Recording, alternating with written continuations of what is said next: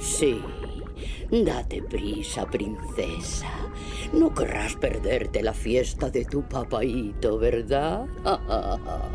Vaya una fiesta.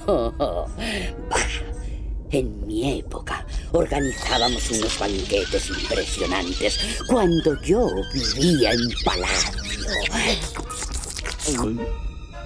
Y aquí estoy ahora, consumida y al borde de la desaparición, desterrada y exiliada y casi muerta de hambre, mientras él y su corte de besugos están de fiesta. Bien, pronto les daré algo que festejar. Flotsam, Jetsam. Quiero que os ocupéis de vigilar muy de cerca a su encantadora hijita. Tal vez sea la clave de que Tritón vaya a la ruina. No sé qué voy a hacer contigo, jovencita. Papá, lo siento mucho. Se me olvidó. Por culpa de tu irresponsable Tu actitud, incalificable actitud. la fiesta se convirtió en... Una ruina. Sí, señor, un auténtico desastre.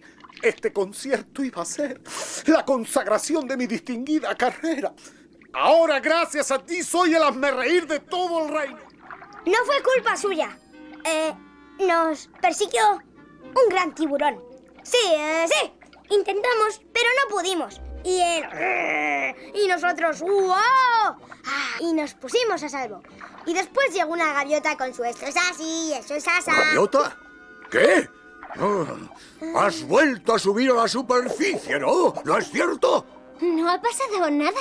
Oh, Ariel, ¿cuántas veces tengo que repetírtelo? Podría haberte visto uno de esos bárbaros, uno, uno de esos humanos. Papá, no son bárbaros. Son peligrosos. ¿Crees que quiero ver a mi hija pequeña atrapada en un anzuelo? Tengo 16 años, no soy una niña. No utilices ese tono conmigo, jovencita. Mientras vivas en mi océano, acatarás mis normas. Pero escúchame un momento. Ni una palabra más. Y jamás, jamás vuelvas a subir a la superficie. ¿Está claro?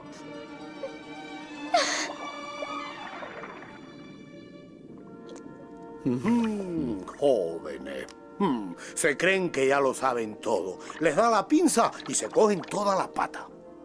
¿Crees que he sido demasiado duro con ella? Pues claro que no. Si, si Ariel fuese hija mía, señor, le enseñaría quién manda.